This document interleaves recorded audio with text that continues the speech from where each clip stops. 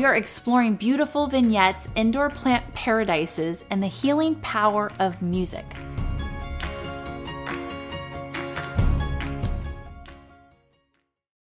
Hello, everybody. I'm Amy Gutierrez, back to host the second segment of Sonoma County Women in Conversation at Home. Our goal is to inspire and empower by highlighting topics of interest and importance to women in particular. This episode focuses on bringing joy, love, and light into our homes to help us thrive. For the past five years, Summit State Bank has helped introduce us to many diverse and amazing women. Their own personal stories have entertained us, moved us, and inspired us. On behalf of the staff of the Press Democrat and Summit State Bank, thank you for joining us. I want to take a moment to thank those that have made this night's feature possible presenting sponsor Summit State Bank and founding sponsor St. Joseph Health. These two organizations have supported women in conversation from the very beginning. Their consistent and collaborative participation has helped to develop and evolve the program, and their financial support has been vital to its continuation.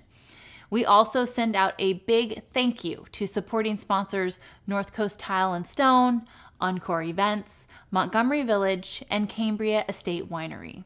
Please support these businesses as they have so graciously supported this series and made this special evening possible.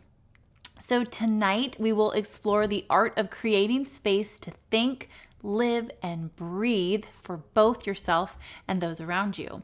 We'll discuss honoring physical and mental space with three inspiring local women who have transformed their environment through design, nature, and music. Before we talk to our speakers, let's tune in to Eat the Season with Heather Irwin from Sonoma Magazine's Bite Club and Live La Dolce Vita with Sophia Englund from Sonoma Magazine. Plus, we so enjoyed Duskie Estes in part one. She will be returning with a fun segment on seasonal cocktails.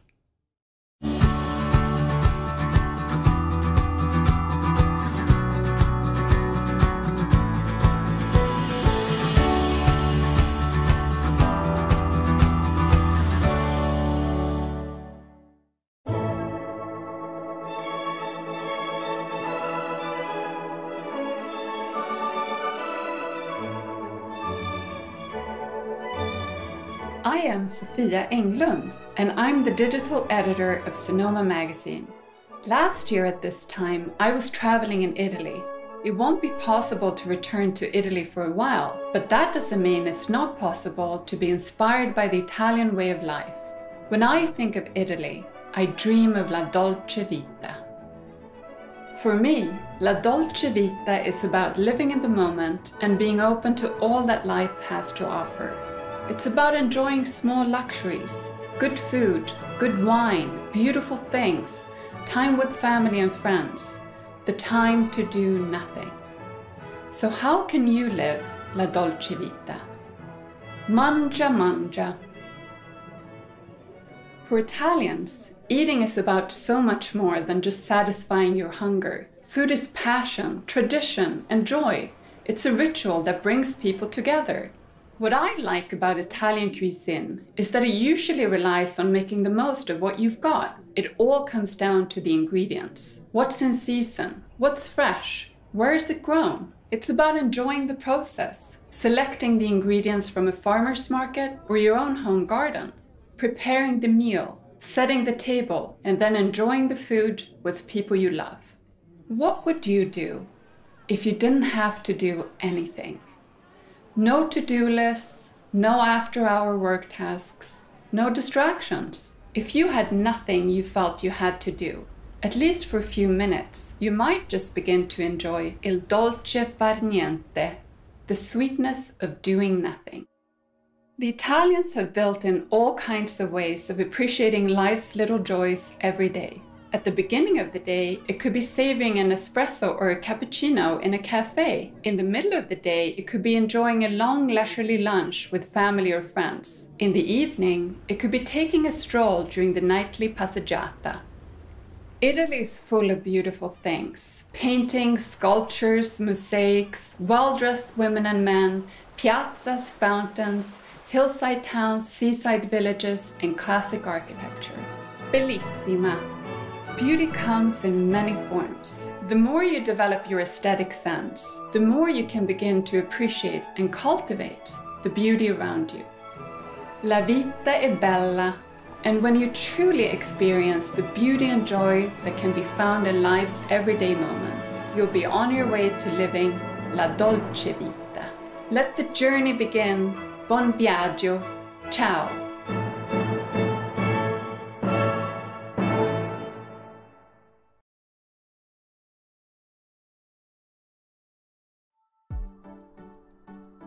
Honoring space to me is my husband going to work an hour before me in the morning and him getting home an hour before me at night. So we each have that little bit of alone time. I was feeling isolated and we worked out where I could come back to the office two days a week. I have tried to take time for myself and at least one day on the weekend go for a walk by myself. It has helped immensely.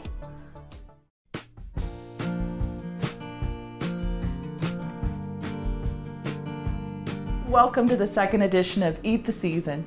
I'm your host, Heather Irwin, dining editor for the Press Democrat and founder of Bite Club Eats. As we round the corner into fall here in wine country, it's time for putting up, or canning and jarring all of the best flavors of our harvest. Leslie Goodrich of Lala's Jam Bar and Urban Farm Stand here in Petaluma is the queen of cooking up seasonal, small batch preserves from fruits right here in Sonoma County like Petaluma apricot basil, Healdsburg peach, Petaluma strawberry raspberry, plum, and orange marmalade. Taught jam making by her Scottish grandmother, Leslie's first attempts at selling jam came in 2014, made right in her home kitchen and selling it from a card table in her front yard. Now, her highly sought after jams are sold throughout the county and beyond. We're here today at her commercial kitchen and retail store in Petaluma, where she sells her jam and teaches jam making. Leslie, what are we going to make today? Well, we're going to make strawberry jam, and I'm so glad Oh, you my asked favorite. because these strawberries are not cut in any way. We Okay. just took the stems off, Okay. and you're going to weigh them on the scale. Okay. It looks like we got three pounds. Three pounds. Three that's what pounds. we're going to use. Okay, three and you're pounds going of to strawberries. stick that right in there. Yes. Okay. What happens right. if now if I didn't have a mask on, I'd probably eat some, but I can't. No, we're going to put the rest of the ingredients in Okay. because this is just strawberries. We're going to take and do a one cup of sugar. I'm gonna get a big scoop of sugar. There we go. And then I'm gonna. We're going to put in lemon juice, one quarter cup. A one quarter cup. Okay. Great. So what's next? All right, so what we're going to do next, we're going to take that over to the stove. Mmm. Look at this. That looks good. Okay. Every Sunday from now until December 15th, I give a cooking class, Jam Making 101. You learn how to make jam, and you're Uh-huh. going to put your hand up a little bit. Okay. Good. It's getting pretty thick and it's Getting bubbling. thick. And take your spoon. Let's take the spoon like this. What do you think? We getting close? What do you think? Does I it think it like still jam? needs a little more time. That's right. Okay. Because it's still dripping off the spoon. right. You want it to kind of hold tight. All right, Ooh, take your mask good. down and Okay. see if you like that. Okay. One of the things you want to do is you do definitely want to taste this jam. That is so good. Tastes like strawberries. And this is only one cup of sugar in here. We're going to take these jars out of the oven. Okay. They are very, Very hot. hot. Hot jars. Very coming hot. through. So fill it. And we're going to fill it right to a quarter inch. Okay. All right. So we got our woo piping hot. And we're just going to make one jar at a time. Okay. Now we're gonna do your the air bubbles. Yes. Uh huh. See, I'm getting good at this now. You are. Okay. Okay, we're gonna take this and we're gonna It's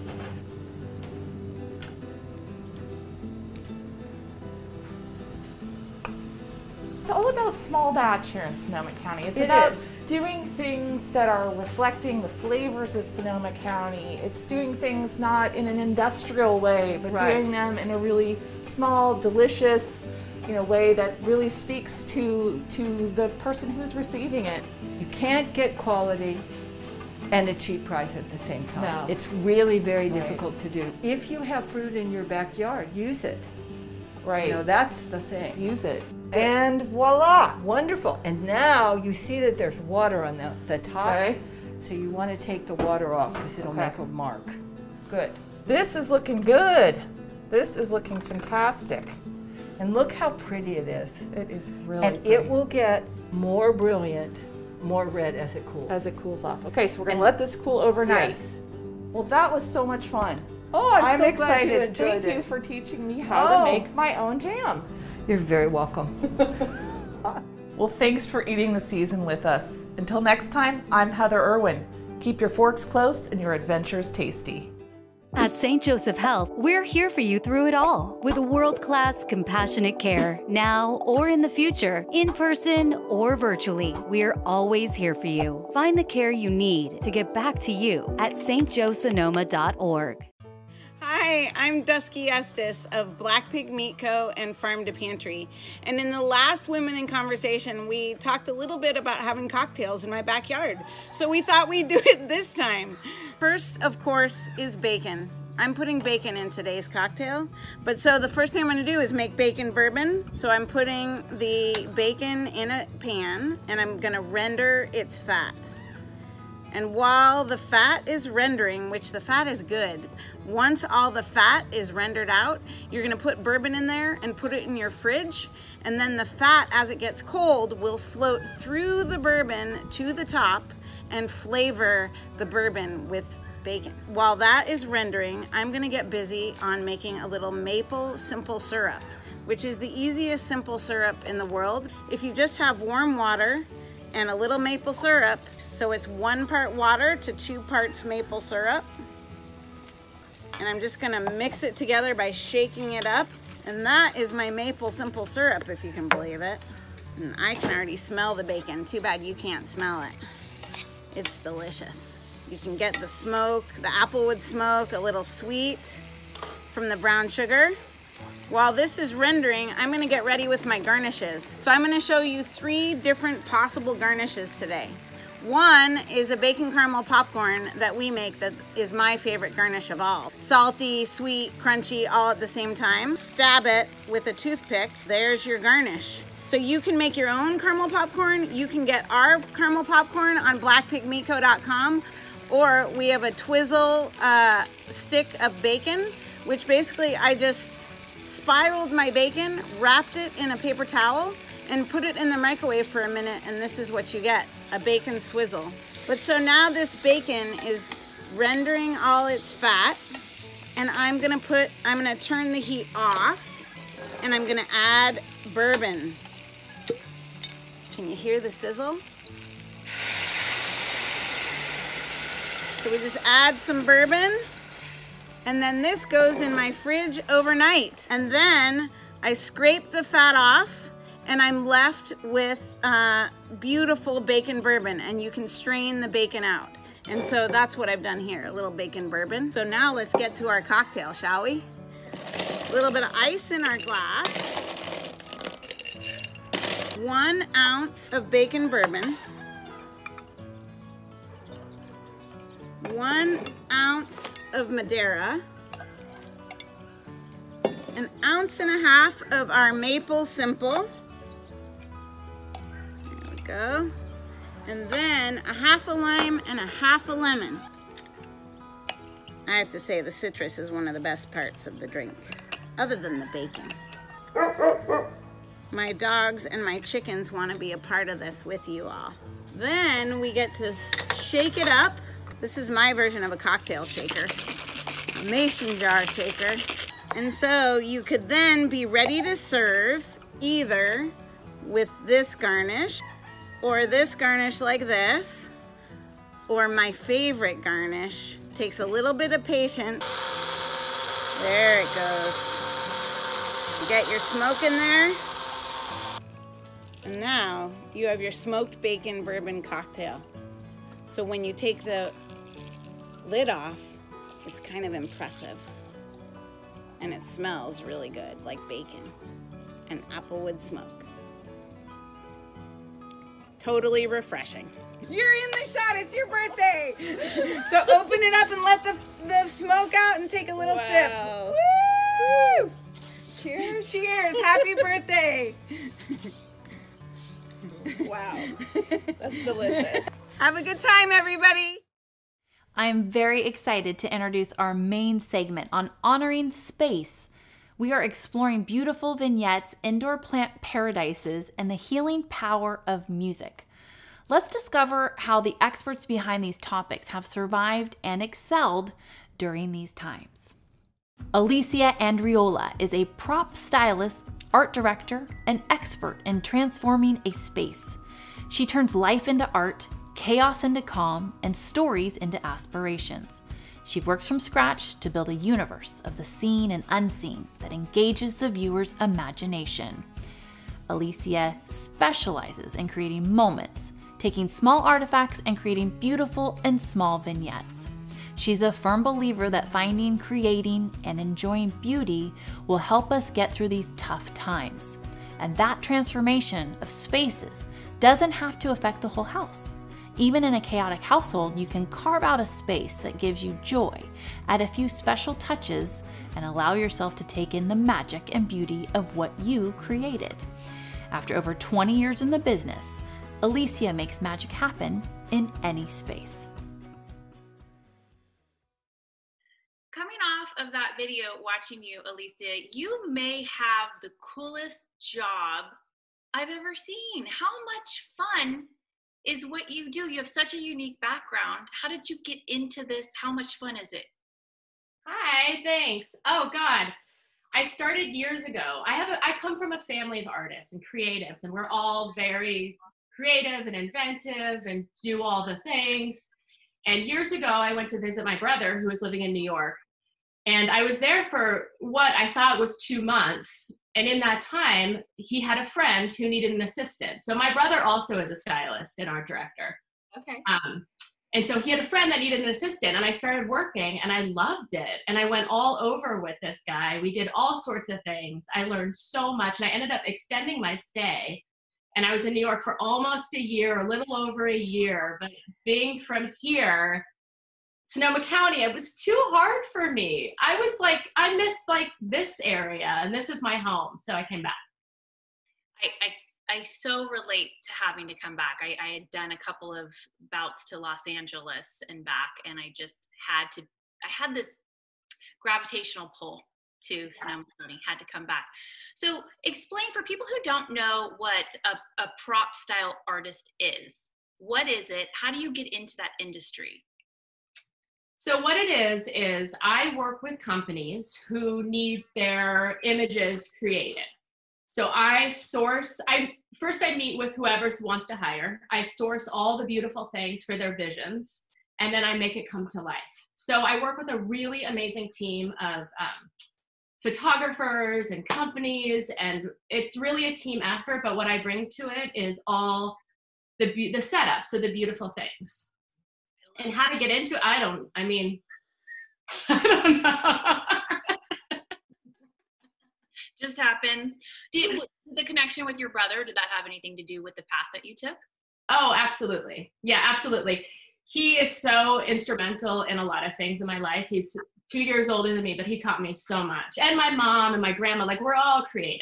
And I thought, you know, I come from this long line of creative. If you're anything but a creative, it's confusing. So like, you're, you're not. You're, what? Yeah. know your role in your family for sure. Yeah. In my industry in television, we always have interns. When, when times are normal we're not a, in, in a pandemic, I highly recommend getting an internship for people who ask, How did you get into what you do? If somebody asks you that for your profession, what do you tell them? I tell them to just ask questions.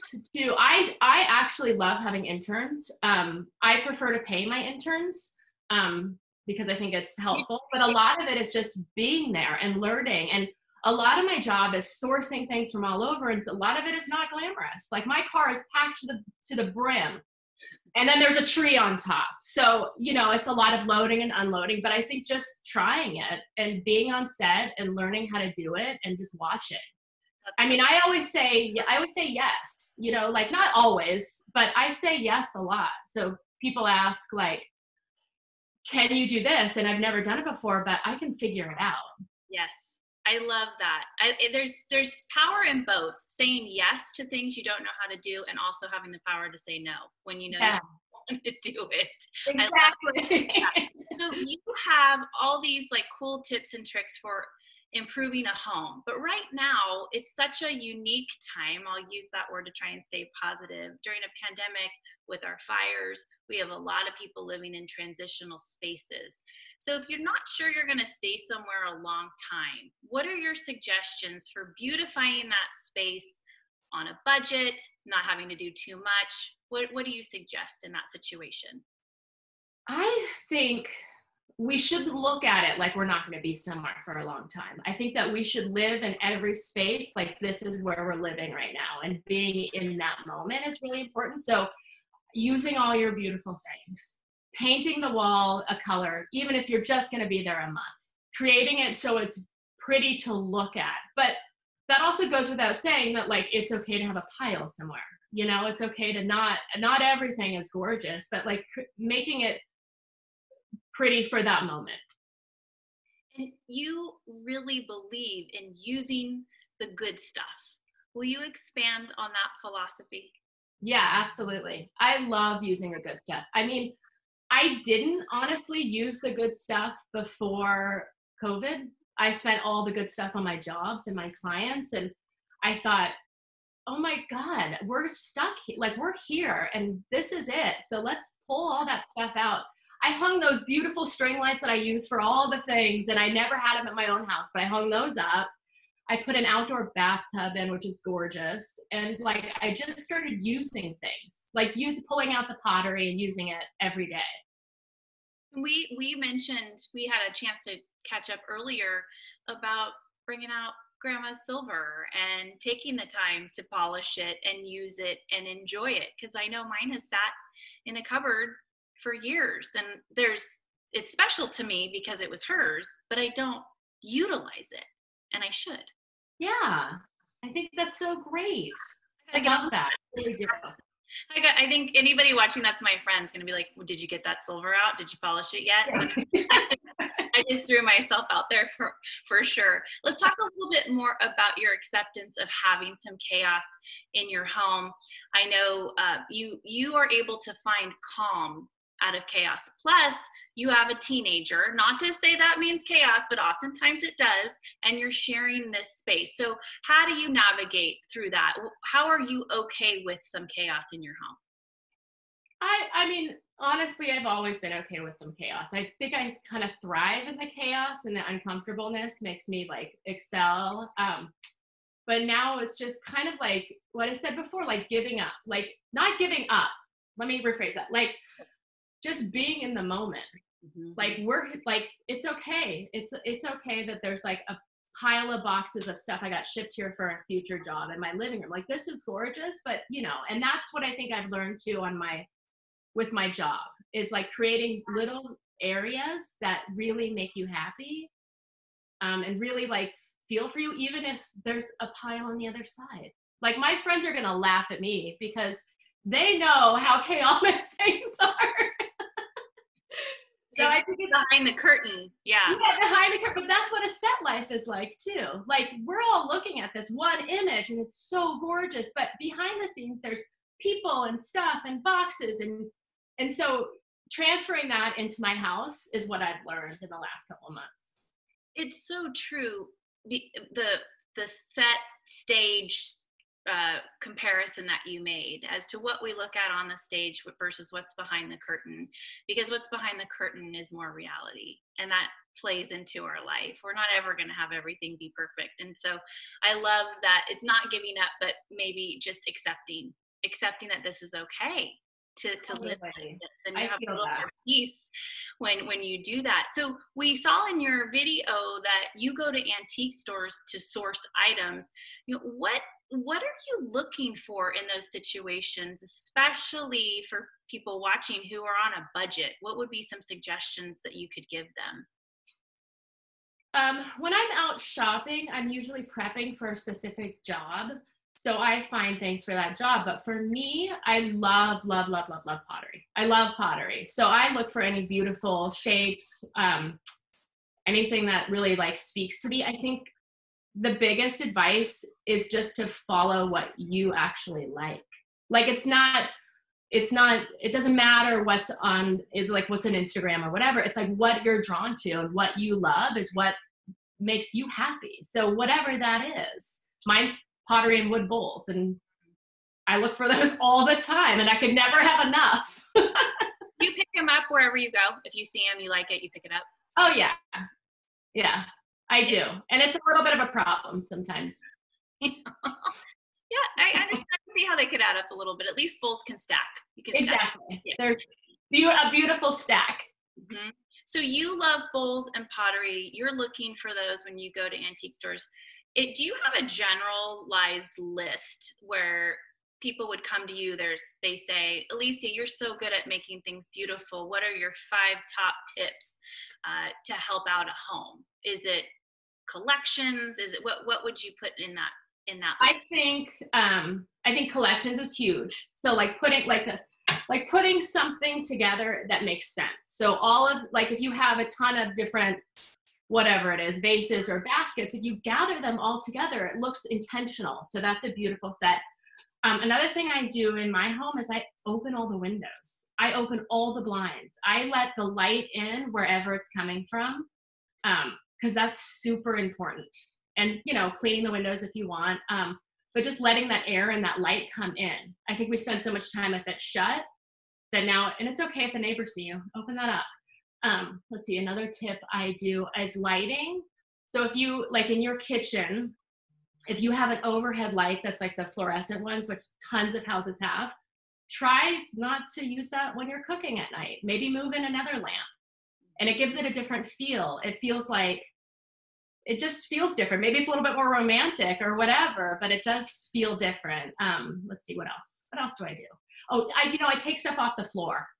So even if it's in a basket, it just like lifts it up a little bit. That makes a lot of sense. Yeah, because that helps alleviate some of what looks like clutter, and you can kind of just. I'm a big believer in doors on, a Yeah. like in my house, like with furniture with doors. So the clutter's behind the door, but you can't see it. I know it's it's my it's my curtain on my stage, right? It's all in there in my own little chaotic mess, but I know it makes sense. Right. Lastly, I just I love that you talk about letting the light in, and we both have 15 year old sons, so I won't speak for your son, but I know my son's room is the darkest room in the house. It's like a dungeon. So, what, what's your suggestion for parents of teenagers who love to have the dark room with all those lights around, you know, those little fluorescent Right. lights?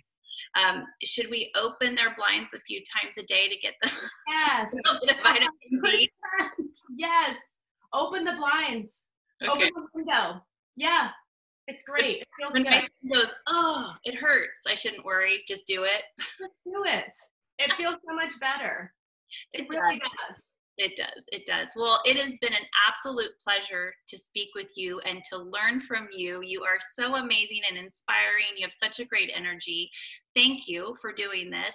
And we're going to catch up to you at the end of the show when our whole panel gets together for a Q&A. Thank Thank you. you. Thanks. Thank you.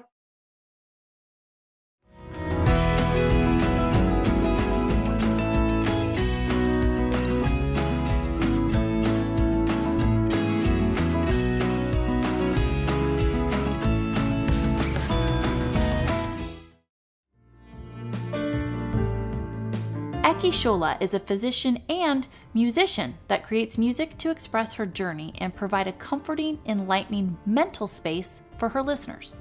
After the unexpected passing of her mother and losing her home in the Tubbs fire, she was inspired to turn her passion for music into a full time venture. Eki and her family barely escaped the fire, losing their house, instruments, home recording studio and three albums worth of recorded songs. Music has been a powerful force throughout her life, and she had found it to be healing for both herself and those around her. With everything going on in the world lately, music is her outlet to process the roller coaster. It helps her to embrace newness and self discovery through the power of voice. What a pleasure to introduce Eki Shola to everybody. You have such a unique story of perseverance that we're going to get into today, but I do want to just backtrack to the fact that you're a physician and musician. I love that. So you're kind of this fantastic dual threat. And if you would just take us down your journey of how you went from physician to full time musician. Right. Well, I think it all pretty much started when I was five. I always knew I wanted to be a doctor. Don't ask me where that came from, but uh, it was always there. Got my first doctor kit. Later on, had the Barbies. Was always breaking them apart and then putting them back together. And it was sort of this straight shot uh, journey. You know, it, there's a formula really to you know get into medical school, and hopefully you're successful in your first try. And so it was just you know A to B to C and then you know I was practicing starting in 2010 after my after my travels. And in 2011 um, I had my uh, second child. And within two weeks I was flying back to New York to be with my mom. I had a c-section brought the little baby with me. And uh, in two weeks we found out my mom had cancer, and it was a pretty rare and aggressive cancer. And uh, basically, I ended up spending six months back and forth to be able to be with her. And it was the most challenging time uh, that I've experienced, but it was also the most beautiful mm. and really um, special time that I had with her. And I remember saying January 2012, my siblings, my father, and I were all um, planning her memorial back in New York, and it was just got stressful. It was just, like, I can't take this anymore. It's too much. And we took a break, went upstairs into my bedroom where I grew up, and some of my old instruments were there, and I found my keyboard. My dad had his drums there. My brother had his double bass, and my sister, or he had his guitar. My sister had her violin, and we just jammed like three hours or so and it was most you know cathartic experience ever. It was just incredible. And i remember after that saying that's it. I have to do music. And the funny thing is as a family we're all uh, we, we all play instruments but we had never played together as a family before. And so this time it just meant so much. Even mom was there in her uh, ashes uh, form in the urn in the bedroom with us. So she, her spirit was there. And yeah, it was just, um, that was the, the, moment I knew that I had to just do music. So I don't want to project, uh, you, you, you're the expert on this, but music seems to be its own source of medicine for a lot of people. Um, what type of medicine do you practice? Do you still practice? And how, how did these professions play off of each other? Is there a medicinal aspect to music for you? Well, I find that, you know, mo- both modalities potentially can be healing. Uh, that's how I see it. I trained in internal medicine and I sort of had a second pivotal moment in 2017, which made me sort of reassess where I wanted to be career wise and what I wanted to do. However, I think it was about a few years prior to that, I switched over to working as an independent contractor, which allows me and has allowed me to have the flexibility to work wherever I choose, different clinical settings, whether it's from home or not. So I love having that flexibility where I can move between music and medicine. But they, I think they're very, uh, they're very linked. I mean, even in the UK, there was some legislation passed uh, recently, I believe, how now physicians can actually uh, write a prescription for music. Wow. Yeah. Wow. you you were a little bit ahead of your time. You didn't even know it. Let's let's chat a little bit of, about some other loss that you've had in your life besides the loss of your beloved mother, which is just it's so difficult to lose a parent. Um, but you also lost your home in uh, the Tubbs fire, and a lot of people watching this, Eki, can relate to, to where you were. It was a devastating time and you were a victim of it. And yet somehow you used the pain and turned it into your own path and power. Can you share a little bit about how you were able to do that and how music played a role in this for you? I had one CD, one or two CDs left that were in the glove compartment of my car. Mm-hmm. And it was my favorite artist called uh, Bonobo. Mm-hmm. And ironically, the album cover is of a big bonfire flame. But I played that CD post wildfire every day um, on my commute. And where we lived, it was a very windy, narrow road. And I remember the time when I was really grieving my mom, just feeling full of despair and having really difficult time coping. And that road just felt so heavy and just so um, depressing. I remember just hitting rock bottom and, and saying to myself, I don't want to feel this way forever. I don't want to feel this way forever. And I remember listening to the radio. It was a piece on NPR. It was a doctor talking about um, veterans and uh, who had PTSD, and he said for those who who made it through and, and were able to cope, it was because of the active choice they made in their life to move forward. And there was no no amount of uh, advice or medication or anything that that he could have given to them. It, it came from within, and and I remember that, and I so fast forward to the fires after the fires and driving that same narrow, twisty winding road. I had so much more gratitude at the point um, because I had, you know, I made the decisions like I, I, I, cannot go through and be back to where grief had taken me before. Mm-hmm. And then I realized I have a say in this. I, I have a say in my own healing. And that, you know, really propelled me. And I also had a different level of respect for that road because that road led us out of the fire. So, you know, it, it, takes time and, and, and grief is not hard. I still grieve uh, every day, it feels like, but there's also, I found a gift from it. Mm-hmm.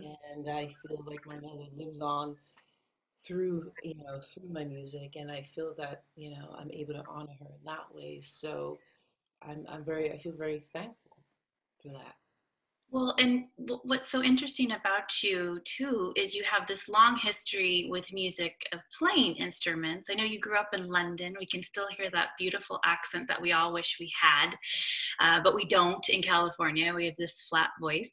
And you have evolved as an adult mm. into singing. So, what helped you make that leap to use your voice as your instrument as well?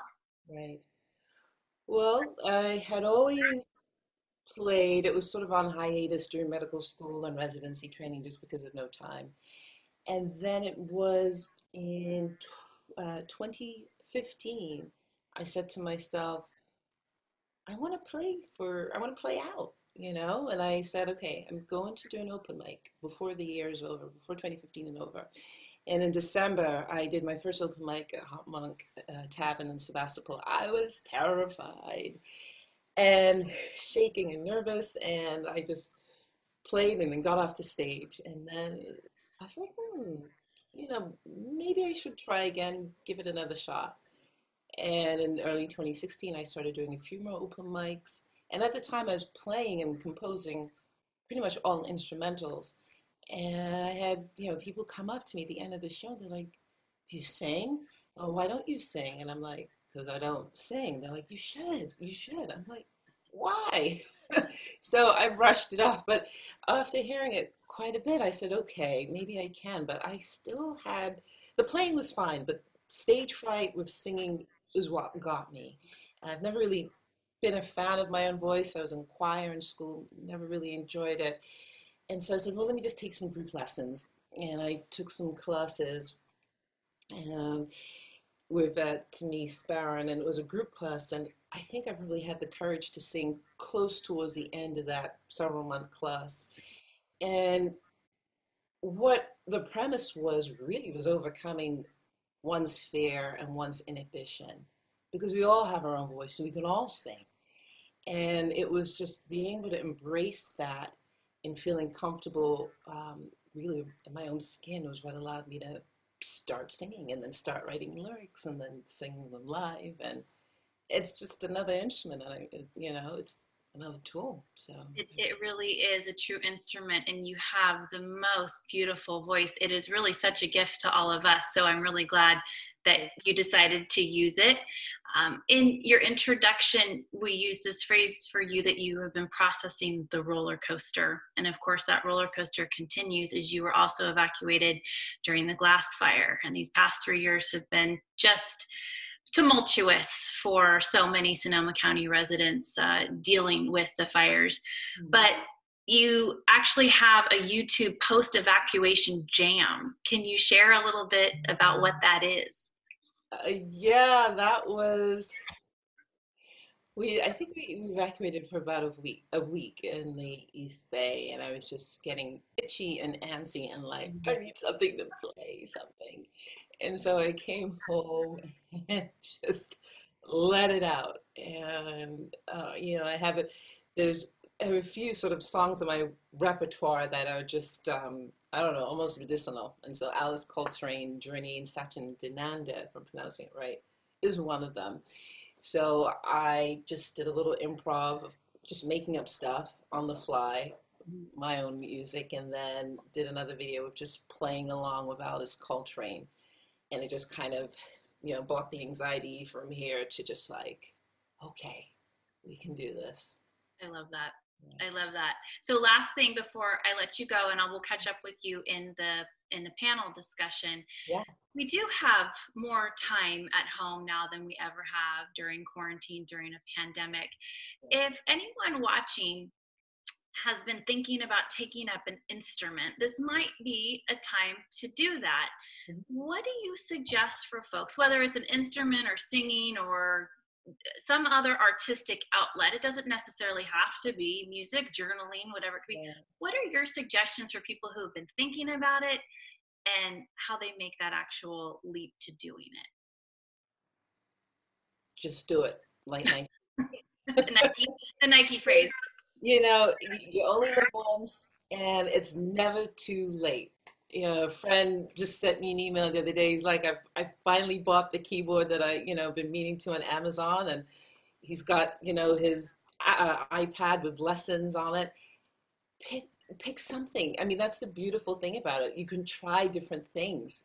Uh, you know, and it doesn't mean you have to go out and buy the biggest, you know, most expensive instrument either. You've got instruments in your house. I mean, if I could show you, I've got some rusted tin pans that I was able to salvage from, you know, our home that burned. I've got some um, hand percussion. I filled a little jar of popcorn to make a little shaker. Yep. So, yeah, yeah. So just play with it. Play with your voice. I mean, pretty much a lot of us, most of us have phones and recording capability. Record the birds. Do a little duet with them. Aww. Just play. A little, Snow White, a little Snow White duet. Yeah. hey, if not now, when, right? Eki Shola, you are a beautiful soul. Thank you so much for joining us and inspiring us. And I look forward to seeing you in the group discussion. Thank you.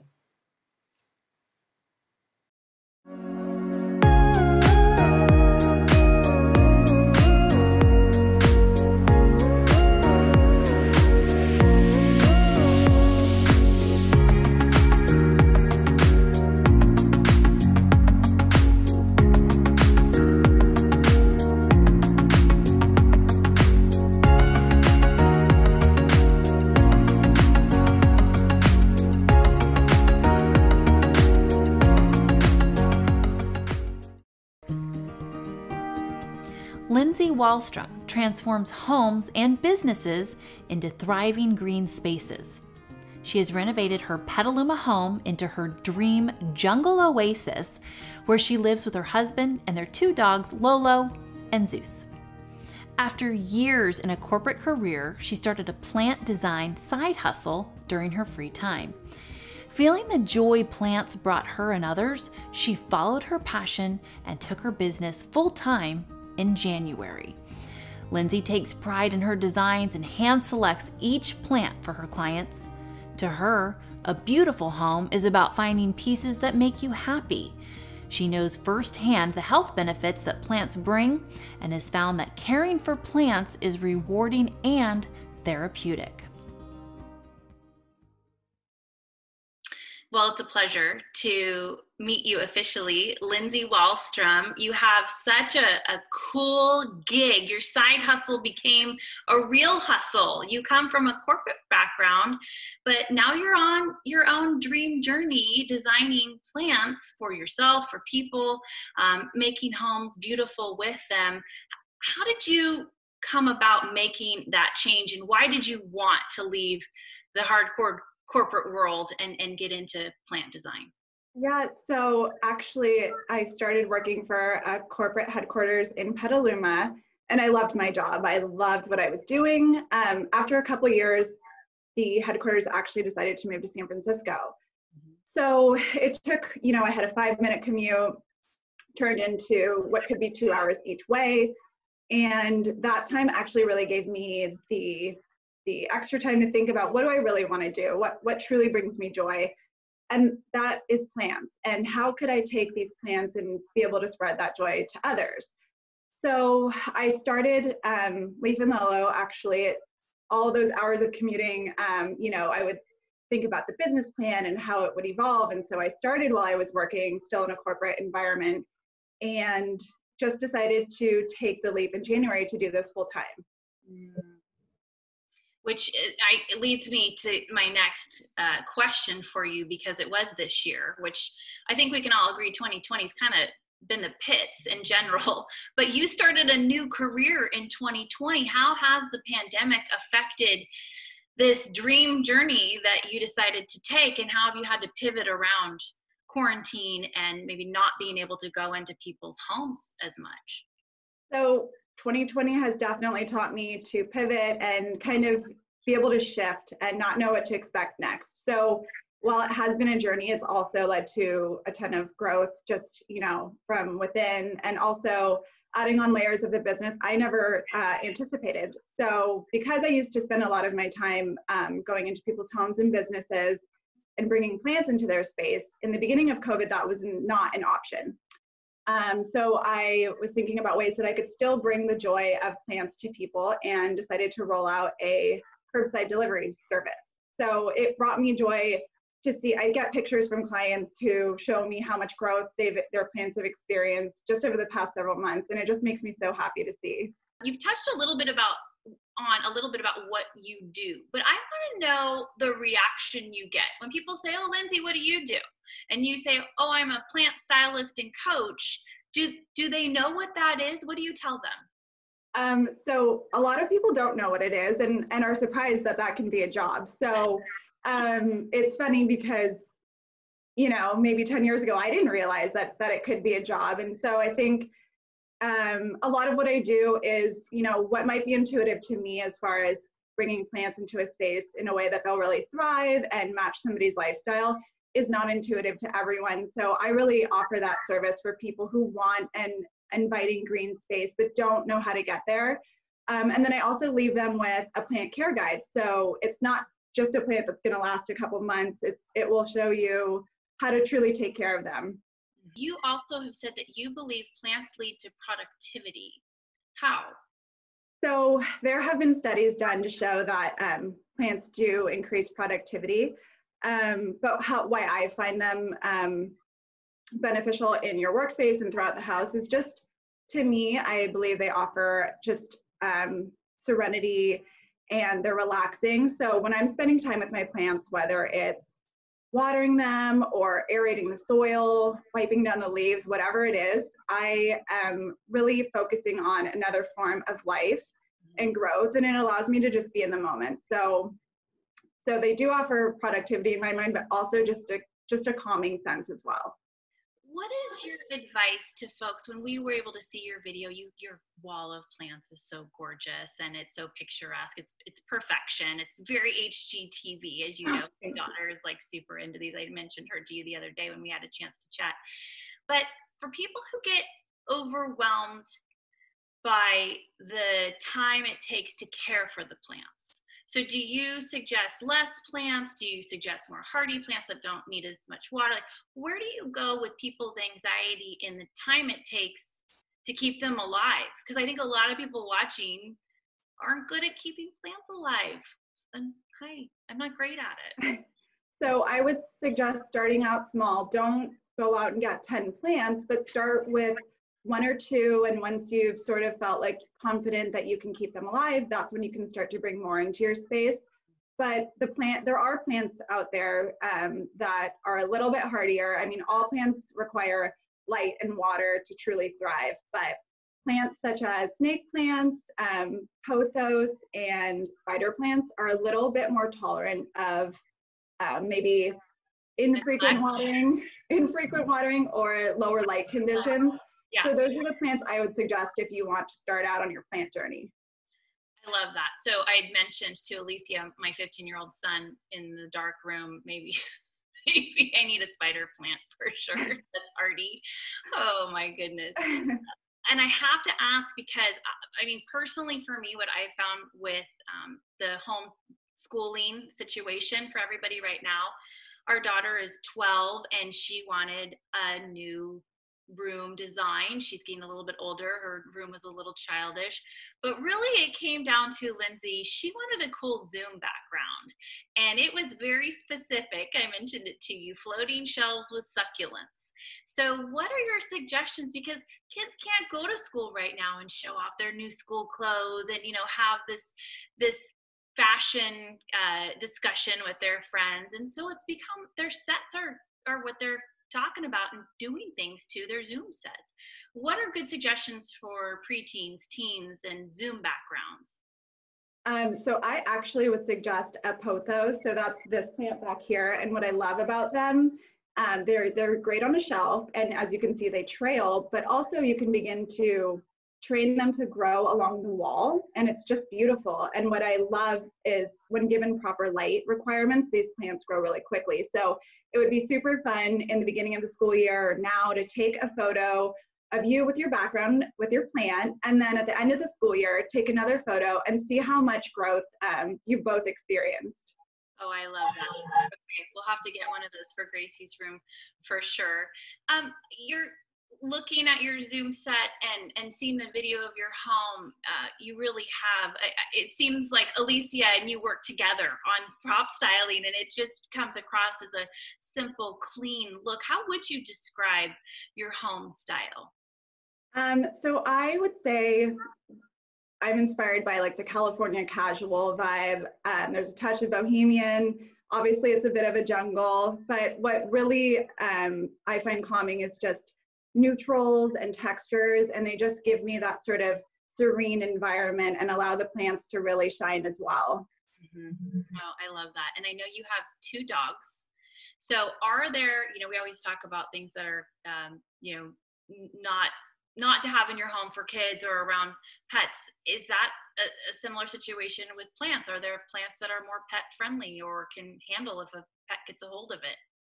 Um, definitely. So I always suggest to look into plant, whatever you're bringing into your home plant wise, do your research. Um, actually, a lot of plants are toxic to both pets and humans. So um, do your research. But some of my favorite plants that are pet friendly are um, a ponytail palm and then also the spider plant.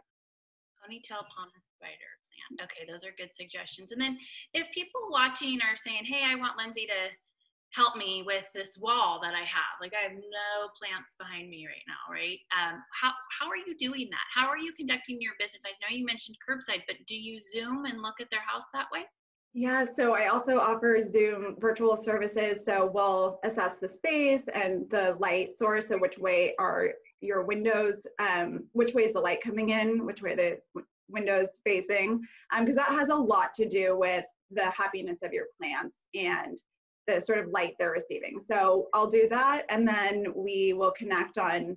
Um, you know, I'll drop a mood board, and we go from there, and just start to install plants in their space it's it's really it's its own art it's really really interesting the last one i'm going to ask you before we let you go and go into the panel discussion you know we mentioned plants that are hardy for those of us that aren't great and happened to forget that we have plants in our home what about those that are pretty proficient with their green thumb are there plants worth kind of going the extra mile because of what they'll produce for you or what they'll look like or how they'll flower, whatever that may be. What, what plants do you suggest for those that are a little better with their green thumb? Um, I would suggest anything variegated. So variegated plants are usually plants that are mixed with green and then a bit of white or even a bit of pink. Um, these plants are rare, but also a bit more to take care of, whether it's the light or the humidity. So I would suggest anything variegated. Okay. All right. Well, it was really, really interesting to speak to you. I love that you decided to make this a job and you've shown people that you can follow your passion and turn it into your career. So that's that's so inspiring in and of itself and you make beautiful things. And we'll see you in the panel discussion. Thank you, Lindsay. Thank you, Amy.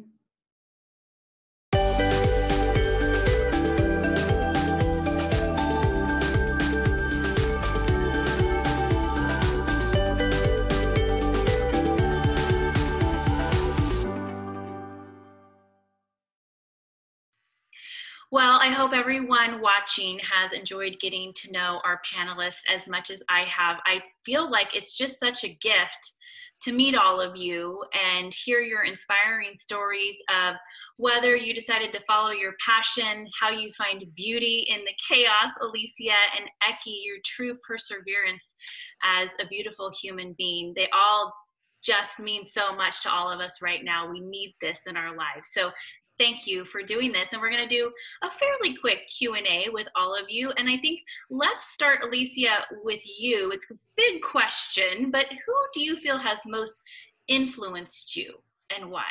I think oh wow it is a big question. My, my biggest influence honestly are are my it's my family first and foremost obviously. Um, but I think it's people who are actually doing things. So like when Eki was talking, like that influences me. And when Lindsay was telling me things, like I I get influenced by people who are and you too, Amy, like passionate about what they do and actually do it. That's the biggest inspiration for me. I love that. Eki, we know how moved you are by music and how you've used it to heal and inspire. But when it comes to human beings, who has most influenced you? I'd have to say my mother. Um, she just had this silent strength uh, that I can appreciate that much more uh, being a mother to myself. Mm. And, you know, she grew up in Jamaica, emigrated to London, and later to New York and raised the three of us, worked several jobs at a time while completing graduate school to get her master's in social work. And all along encouraged and nurtured music uh, for the three of us, and she herself was also a musician. So I, yeah, she she keeps on inspiring. Mm, yeah. Well, and I know that she's not here for us to meet, but I feel like we kind of get to meet her a little bit through you. So thank you. Yeah. Lindsay, this is a this is an important question for all of you, I think. So I am going to have it uh, put out to all of you? Who has most influenced you and why? Um, so again, my my mom and my grandma have been huge um, influences in my life. Both really strong, amazing women. Um, uh, professionally, designer Justina Blakeney is has always been an inspiration of mine. The way that she continues to evolve her business, um, so I find a ton of inspiration with her as well. I love that, Lindsay. Let's stay with you in today's climate What's something you try to avoid professionally or personally or both? Um, I would have to say negativity. I try to avoid it at all costs, both pro- professionally and um, personally. Um, yeah, I I feel like you know you kind of have a gut feeling, um, and I just try to go with that. If something's not feeling right, I try my best to avo- avoid anything having to do with negative energy. Yep. Which your plants give you all the positive energy. You're Exactly. I love that. Alicia, how about you? Something you try and avoid in today's climate, professionally and personally. Um, I try to avoid the the the desperation that I felt a lot of times before, like the need to get everything and get it all done, and the pressure and the driving and the commuting. I try to avoid feeling feeling that pressure. It's hard. It's a practice, but um, I think it's important. Like I take a little bit longer on the phone if I'm talking to customer service, and I like it. That has been what I've done differently for sure. You know finding your patience. Yeah.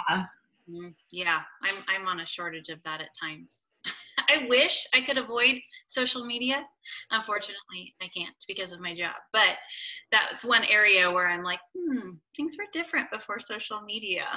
Eki, let's go to you. Your best advice for somebody wanting to make a life change. You you've done many of those and had to pivot many different ways. And what would you offer up to somebody who is in a situation that they needed to make a life change?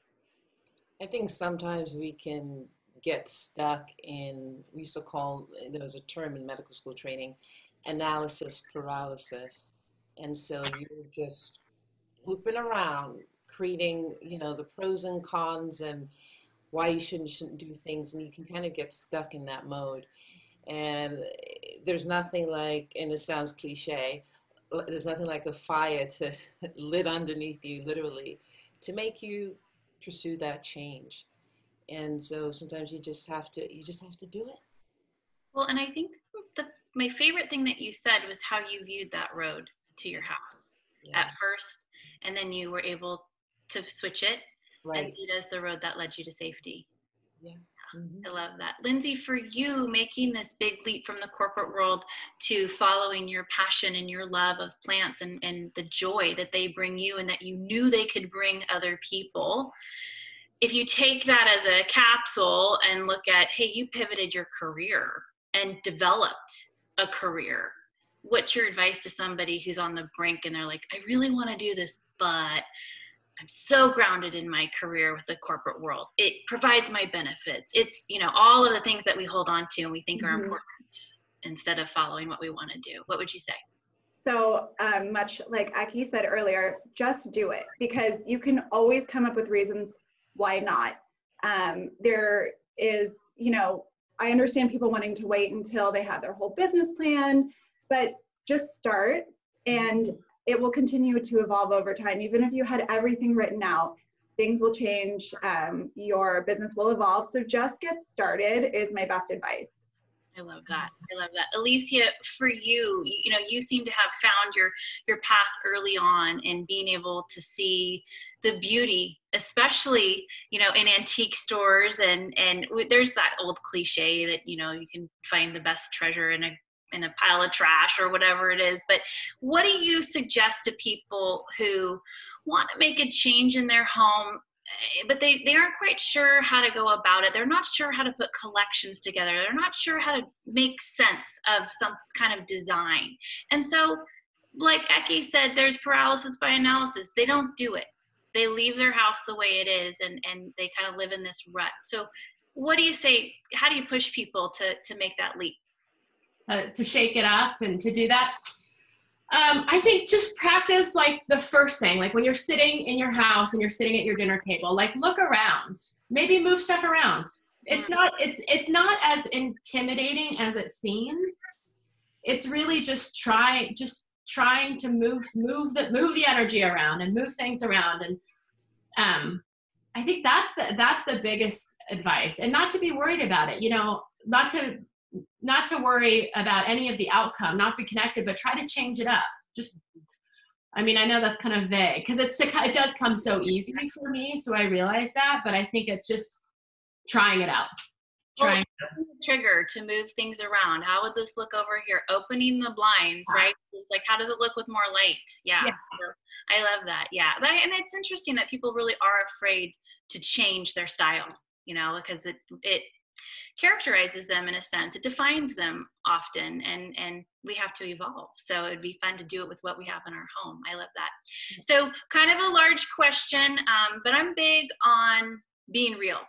And uh, you know, we present these three panelists to everyone watching and obviously we all look at you and say oh i wish i was like that i wish i could see things that way i wish i could you know get collections like alicia and lindsay has this fantastic eye for plants and Eki's this fabulous musician and you are all amazing but you're also all human and you have days that maybe you don't want to wipe the leaves off the plants, Lindsay and Alicia. You don't want to go search for that treasure. And Ecky, maybe you don't feel like singing. I just wanted you guys to each kind of convey to the audience that human side and how you deal with days like that. And let's, Eki, let's start with you. Oh yeah, there are times I don't want to practice. Weeks. and I'm not going to force it because if I do, it will sound like crap. Um, so yeah, you have to have. You, it, look, it's okay to feel your feelings, all of them. Um, I think then it's like, how do you move from that, right? But one thing, I'll tell you this one thing that has helped me personally is meditation. And I've always heard it, you know, it help, it's helpful, so on and so forth, but I never really fully believed it. But developing a practice and trying it, even if it's just for a few minutes a day, has um, been incredibly helpful just to kind of you know get yourself centered to turn off those wasteful thoughts that yes i do get you know and just to give you that rejuvenation and energy to keep trying and, and, and changing because you know it, in this business there, there's no a to b there's no black or white uh, there's no magic pathway and it's you know you have to adjust and so i find that meditation helps to kind of reset yeah. all of that into helping me to stay hopeful. Yeah. Alicia, I, I don't know if this happens to you. I know I already said it to you, but I get told this a lot like, oh, you have such a cool job. Is every day just so much fun to go to the ballpark and cover this team? And I'm thinking, did you see the loss last night? Do you know I have to go talk to 20 something year olds who just lost so bad they don't speak at all and they're having their own little temper tantrum? Do you have days where it's not as glamorous as it seems to be on the set and to have to design? And how do you oh, get through those? Absolutely. I mean, a lot of times, like I said before, it's like my car is full of stuff. I've eaten like a handful of almonds. I'm like jacked on iced coffee and I and it's still 9 p.m. and I'm in the city. So yeah, there are like days where I'm just check out. Yeah. Um, and that's a huge reality of, of my job. Um, but I also to to to get out of that, I just let like I just let it go. I let it I let it go. I let it go and and to not not be so hung up on it. You know, I just like, okay, this is it, moving on. And I also, like I said before, have an amazing team that really supports me. And that's huge too. Even my son, I'll get home at 10 p.m. from shooting all day, and he's like, Can I help you unload your car? That's the best. Is that yeah. not best I know when they're 15 and they all, like my son will be like, Can I help you with the groceries? I'm like, Yes, you can. I guess you can. Um, and I love the almonds reference. I always have a bag of almonds in my car because I'm always starving. I never have time to eat. Lindsay, for you, do you have days where you have designer's block that you can't envision what you want to do for a client? How do you push through those? Absolutely. And I think it's a matter of just not forcing it um, because really your work will show. When when your creative juices aren't flowing and you try to force it that's when i feel like you can see it in your work. So i try to just allow that build that time into my design process so that i in case i end up having you know a creative block i've just allowed myself the time to allow that to happen and not force anything Okay, I love all of those answers. Last one, rapid fire. I know I need to wrap this up, but I could talk to you all forever. Quickly, your COVID go to food and drink. Lindsay, let's start with you. Uh, food, Trader Joe's rice cracker medley. So good. Uh, drink would be kombucha. You're healthy. I thought you were gonna give me like some chocolate and wine. Eki, what do you got? oh gosh, well, it was peanut butter chocolate chip cookies, but I'm now doing a 21 day vegan challenge. So Oh. who knows?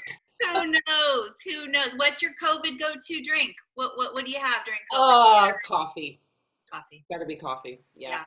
All right, Alicia, you get to get us out with a bang. Your go Okay. COVID. My go-to probably is dark chocolate. And then for drink, I've been drinking these like fancy elixirs, life-changing juice things that are like spicy and delicious. And I love those, and they're a million dollars, but I love them. From like the Nectary Sebastopol is amazing with these like shots of something that changes my life. Oh, Or something. Something like that. Well, you have all changed many lives with your time this evening, and I'm just so grateful and been very inspired to meet you all and have a chance to interview you. It's been a, a true honor. Thank you for joining us, and thank you to everyone who has been watching our second installment of Women in Conversation. We are grateful that you joined us. Thank you. Thanks. Thank you.